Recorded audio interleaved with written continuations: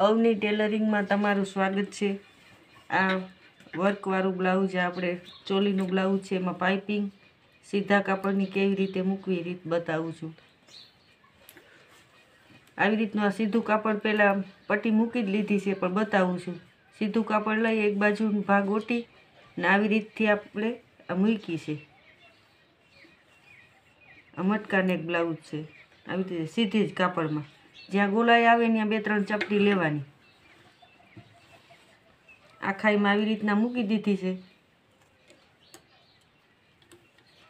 ને પછી આવી રીતથી આપણે આમ કાપો ઝીણો ઝીણો મારી દેવાનો. એટલે જ્યાં ગોલાઈ આવે એકદમ ફિનિશિંગ વાળું આવી બધાય. સીધું કાપડમાં. હવે આની ઉપર ધાર સિલાઈ આખાઈમાં મારી દેવાની આવી રીતથી.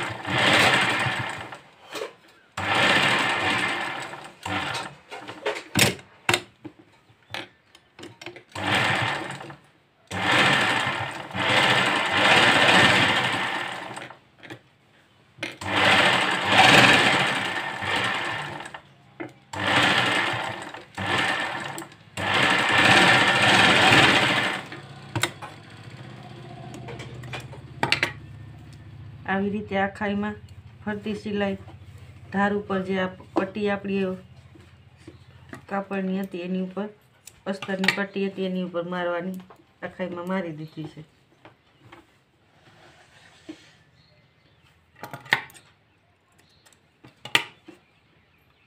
હવે આટલું કાપડ આવી રીતે આમ દબાવી અને ઉપરથી સિલાઈ લેવાની.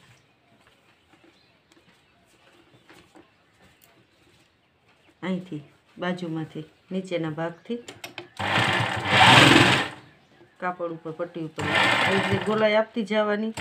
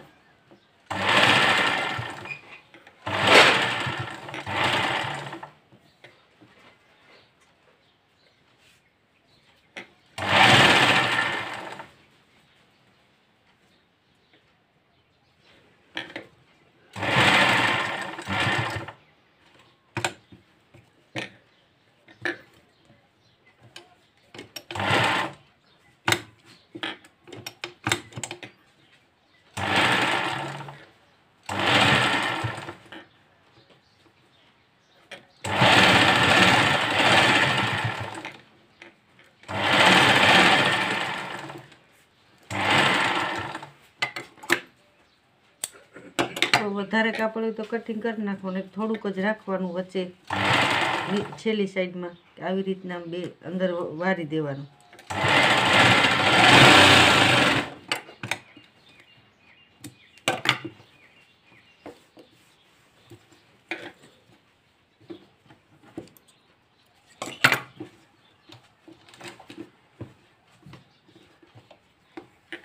એક સિલાઈ આવી ગઈ. હવે ઉપરની સાઈડમાં, હજી એક બીજી સિલાઈ પણ મારવાની.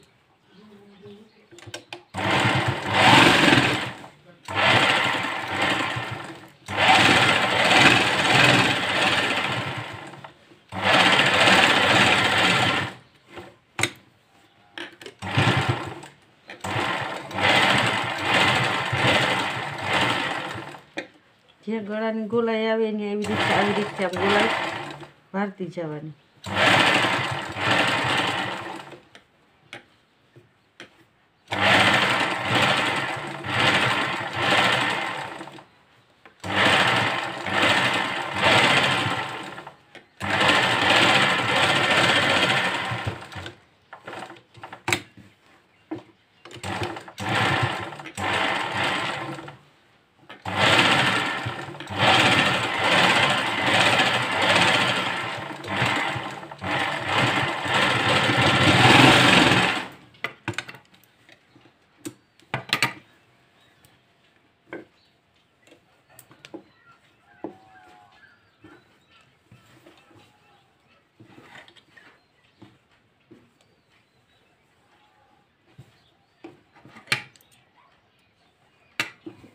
આવી રીતના મટકાવાળું ગળું સહેલું અને સરળ રીત એકદમ.